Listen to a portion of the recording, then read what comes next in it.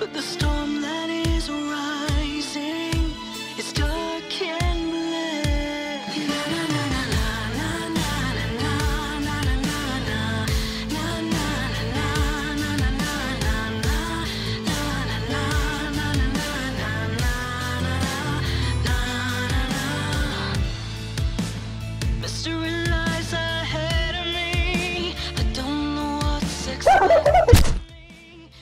sure gonna try.